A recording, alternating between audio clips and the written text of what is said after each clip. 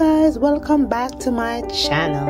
I'm doing some shrimp alfredo pasta today. I'm making my shrimp with some parmesan cheese and also some cilantro and some white wine to top it off. Guys don't forget to click on that like button. Also leave a comment below and share my video with your friends and family. I put a little salt in the pot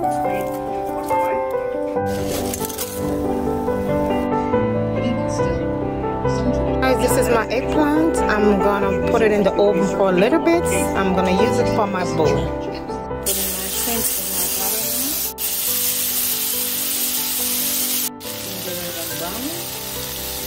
So guys, I'm gonna put a piece of butter in the same pot that I fried the shrimp in.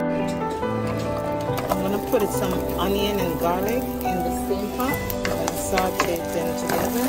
Onion and garlic put some white wine in it. Putting some heavy cream. A little salt. Some Parmesan cheese.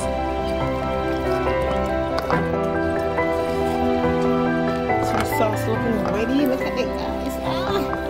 Ooh la la. I'm gonna put in back my shrimp now.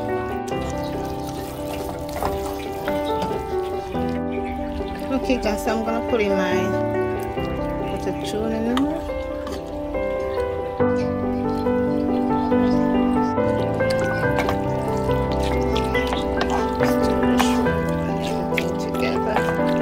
Yes, this is a spoon.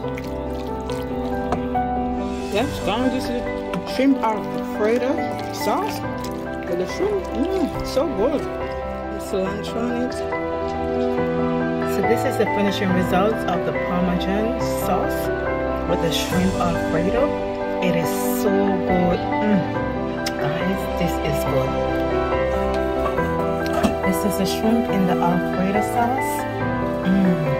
It's in the eggplant. I use eggplant as a bowl.